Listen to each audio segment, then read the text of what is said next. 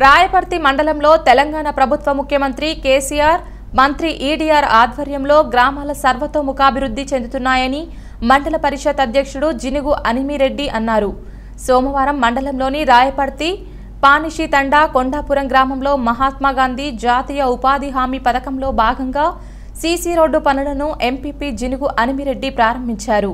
ఈ సందర్భంగా ఆయన మాట్లాడుతూ తెలంగాణ రాష్ట్రం వచ్చాక ముఖ్యమంత్రి కేసీఆర్ నేతృత్వంలో గ్రామ స్వరాజ్యం రావాలంటే గ్రామాలు అభివృద్ధి చెందాలని ఉద్దేశంతో మండలంలోని అన్ని గ్రామాల సీసీ రోడ్లు నిర్మించి అందంగా తీర్చిదిద్దామని ఆయన అన్నారు.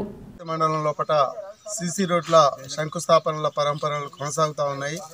గౌరవనీయులు పెద్దలు మన ప్రియతమ నేత ఎర్రవెల్లి దయాకరరావు గారి సారథ్యం లోపల అనేకమైన అభివృద్ధి కార్యక్రమాలకు నిధులు తీసుకొచ్చి వారి ప్రతినిధులుగా మండల స్థాయి నాయకులమైన మా అందరితోటి గ్రామాలల్లో వారికి వీలుగాని సందర్భం లోపల మా ద్వారా ఈ శంకుస్థాపన కార్యక్రమాల కోసం దయాకరావు గారు ఆదేశించారు మేము దాన్ని కొనసాగింపు కంటిన్యూ చేస్తూ ఉన్నాము.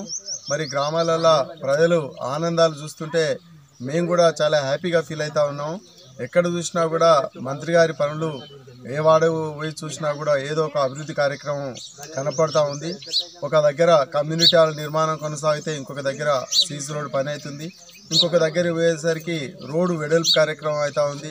ఇంకా కొన్ని సందర్భాలలో గ్రామాల నుంచి ఒక ఊరు నుంచి ఇంకొక ఊరికి పోయే సందర్భం లోపల మరి వైడనింగ్ కార్యక్రమాలు డబల్ రోడ్లు అవుతా ఉన్నాయి.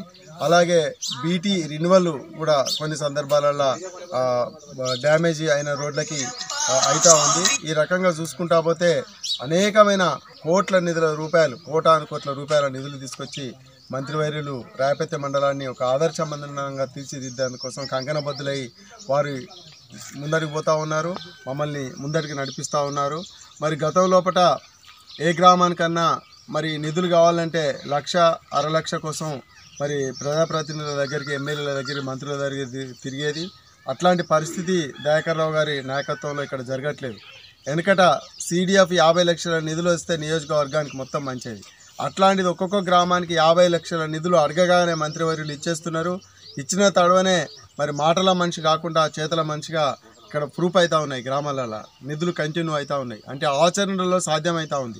మీరు చూస్తున్నారు రోజు పాత్రికేయులు. మేము ప్రతిరోజు కూడా ఏదో ఒక కార్యక్రమాన్ని శంకుస్థాపన చేస్తున్నాం. తెల్లారి నుంచి ఆ రోడ్ కంప్లీట్ అవుతా ఉంది. ఇట్లా అభివృద్ధి పరంపరలో కొనసాగుతూ ఉంది. మరి జిల్లా లోపట్నే కాదు రాష్ట్రం లోపట్నే ఒక ఆదర్శ మండలంగా గౌరవ మంత్రివర్యులు తీర్చిదిద్దే క్రమంలో ఉన్నారు. మేము కూడా వారి ఆదేశానుసారం ఎప్పటికప్పటికి స్పందించి అభివృద్ధి లోపల అందరం కూడా భాగస్వాములు అవుతాం. ఈ కార్యక్రమం ఇట్లనే కంటిన్యూ అవుతుంది. మరి మొదటి నుంచి కూడా దయాకర్రావు గారికి రాయపతి మండలం అంటే వారు రాజకీయాలకు వచ్చినప్పటి నుంచి మరి డీలి రిహాబిటేషన్ అంటే నియోజకవర్గ పునర్విభజన లోపల కూడా మా రాయపతి మండలం గౌరవ మంత్రివర్యులకు ఉండడం మేము అందరం మరి వారు మంత్రివర్యులు అయిన తర్వాత ఇంకా కూడా దూసుకుపోతా ఉన్నారు. జెట్ స్పీడ్లో దూసుకుపోతా ఉన్నారు.